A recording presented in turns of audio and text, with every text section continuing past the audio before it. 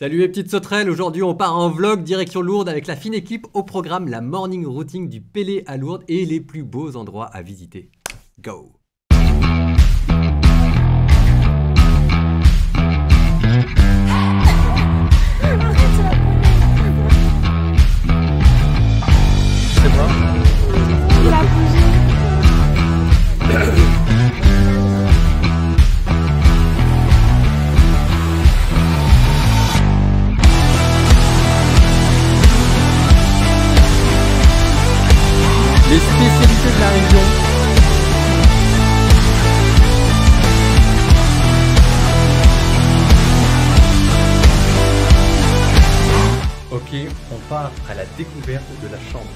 202.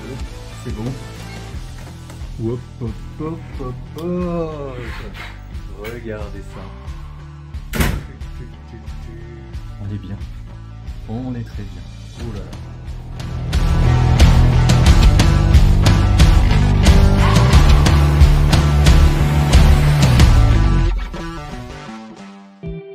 Ma morning routine. Alors l'avantage de quitter une cellule, c'est que quand on part quelque part, on a toujours l'impression que c'est le grand grand luxe. Là, c'est le petit déjeuner, comme jamais j'en ai eu au couvent. Regardez-moi ça. Ce pèlerinage, c'est un grand événement pour tous les frères dominicains, donc ça va durer trois jours. On a le temps de prendre nos habitudes. On part à 8 heures pour dire nos laudes le matin. Euh, Il y a plein de frères, moi j'aime énormément, c'est l'occasion de prendre des nouvelles de tout le monde. Et puis après, là, après les laudes, on part à la messe, des grandes messes avec 15 000 personnes hein, quand même.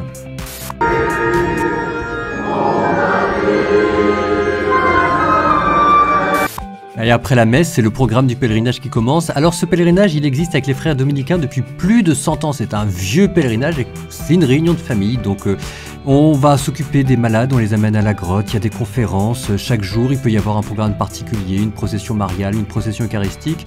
Chaque frère a un boulot particulier. Il y en a qui s'occupent de malades, il y en a qui sont à la gestion. Nous, avec Kevin et Manuela, on a été affectés à la communication pour faire sur Instagram un pèlerinage digital. On est en train de terminer notre première journée. Alors en fait, à Lourdes, nous, notre boulot, c'est de faire des réels pour les faire sur Instagram. Donc euh, on a terminé la première journée de travail, premier réel. Bravo Kevin. On vous le montre, ça vous donnera, ça fera un petit piqûre de rappel sur l'histoire de Lourdes. La Vierge apparaît ici à Lourdes en 1858 à Bernadette. Bernadette a alors 14 ans. Bernadette, c'est une fille extrêmement pauvre et quand elle vient ici, c'est pour chercher du bois pour se chauffer. Elle traverse le fleuve, le Gave. Elle arrive à une grotte elle voit une dame enveloppée de lumière qui lui dira Je suis l'Immaculée Conception. Elle va apparaître 18 fois à Bernadette. Elle va même montrer l'endroit d'une source d'eau que Bernadette va découvrir grâce à la Vierge. Et quand les pèlerins vont venir année après année, en fait, grâce à cette eau, ils vont pouvoir déposer au pied de la Vierge à Dieu leur misère et leur maladie. Il va se passer des miracles, mais des miracles, énormément de miracles, et ça devient le plus grand lieu de pèlerinage ici. Aujourd'hui, on est en 2022, on est début octobre, on va être encore 15 000 pour le pèlerinage du rosaire, parce qu'il y a une ambiance, on sent qu'il y a ce climat d'humilité, de service, de fraternité, et Dieu, Dieu, qui connaît nos misères et qui est là pour vivre avec nous. quoi.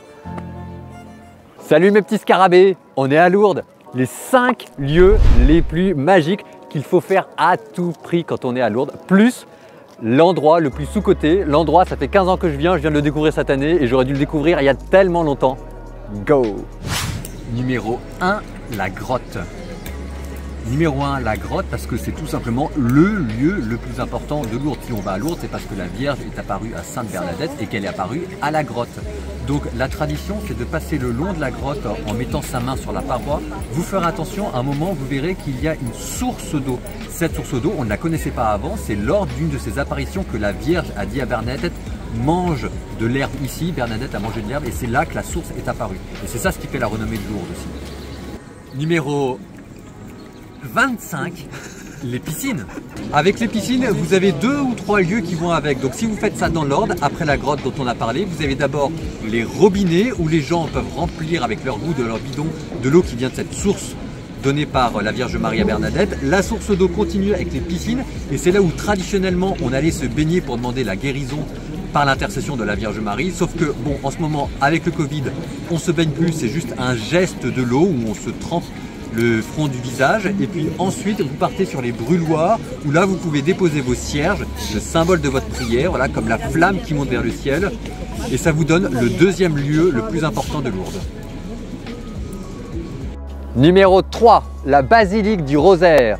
Je suis passe-partout Dans la basilique du Rosaire, il y a deux ou trois petites choses. À l'intérieur, vous ferez attention sur les mosaïques. Vous avez de représenter les 15 mystères du Rosaire, la vie de Jésus. Et alors, comme il manquait les mystères lumineux, on les a mis sur la façade. Donc je vous laisserai retrouver quel mystère, quelle mosaïque. Et ce que vous pouvez regarder aussi, c'est en haut, dans l'église en haut, vous avez sur une chapelle latérale, vous avez une chasse avec des reliques de Sainte Bernadette.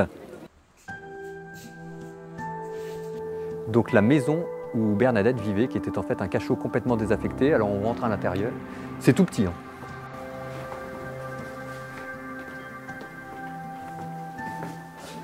Donc c'est extrêmement petit. Euh, ça doit faire quoi? Ça doit faire 7 euh, mètres carrés. Et donc dedans, il y avait euh, le père et la mère de Bernadette, ses quatre enfants. Et là-dedans, il faut imaginer qu'il y avait la cuisine, les toilettes, la douche, et les six personnes de la famille. Donc en fait, c'était la misère, sachant en plus que la mère de Bernadette était quelqu'un d'extrêmement méticuleux et qui aimait la propreté, et donc vraiment, ils ont souffert. C'est tout petit. Et c'est là qu'on se rend compte que c'était vraiment la misère, cette famille. Le numéro 5, le chemin de croix. Techniquement parlant, le chemin de croix n'est pas propre à Lourdes, vous en avez partout dans toute la France, mais celui-ci est quand même très très très beau et il faut le faire. Il se situe juste en hauteur du sanctuaire et c'est un chemin de croix grandeur nature avec ses 14 stations et il est vraiment très beau. Donc faites-le, ça vous fera à la fois une très bonne balade et une très bonne prière.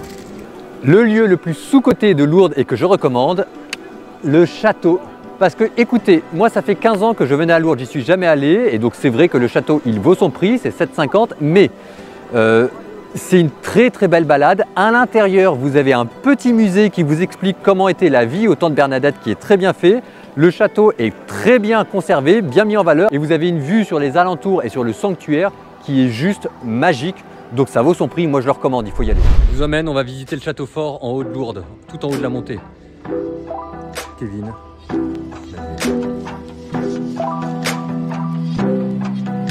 Maintenant que j'y pense, c'est la première fois que je viens au château. Vous vous rendez compte quand même Tous les trucs que vous avez fait depuis que je suis apparu dans votre vie que vous n'aurez jamais fait sinon C'est vrai, c'est vrai. Mais euh, j'aurais une vie sociale. Et peut-être une copine. Et je serais peut-être même marié. Vous Jésus, parlez pas de malheur. Je ne regrette pas d'avoir payé 7,50. Il y a même un pont lui. Oh, il y a des pots de fleurs là-bas. Pourquoi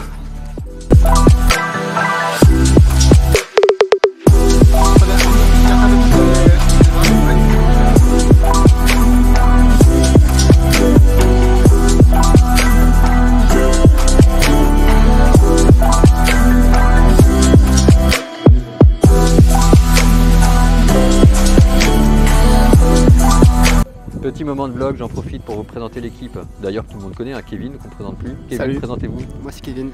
Manuela, que peut-être vous connaissez moins, qui s'occupe en fait de l'Insta, qui est la Respo Insta. Parce que moi, je suis trop timide, donc je manque jamais en caméra. Est-ce que Manuela est timide, Kevin? Euh, Oui, quand elle ne connaît pas les personnes. Je dirais que je suis réservée dans ce cas-là, alors. Et quand on la connaît?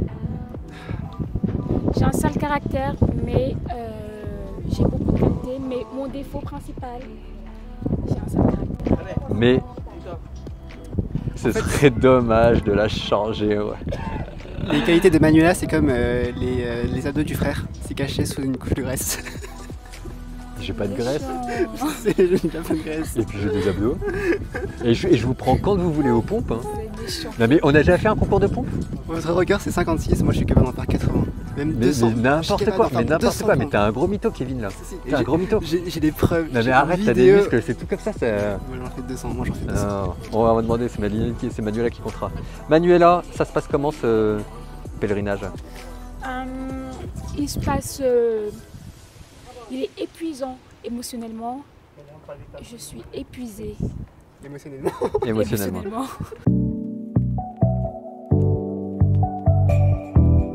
Prenez les Oh là là, ça c'est tellement beau. J'ai mangé ça la dernière.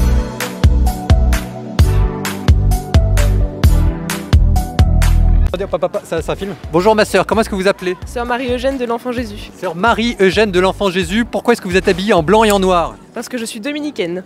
Alors normalement il y a quelque chose d'un peu particulier, là vous portez quelque chose autour du cou, ça s'appelle comment? Une guimpe. Donc ça, vous avez l'habit intégral des dominicains. Qu'est-ce que vous faites dans la vie ma sœur? Alors, euh, alors je contemple, mais aussi je, je transmets ce que j'ai contemplé en enseignant.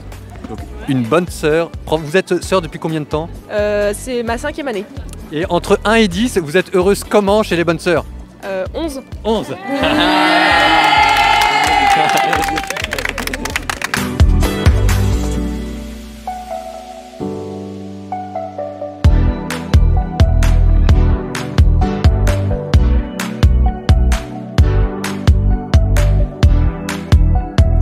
savez c'est où Manuela Magasin. Suivez-moi.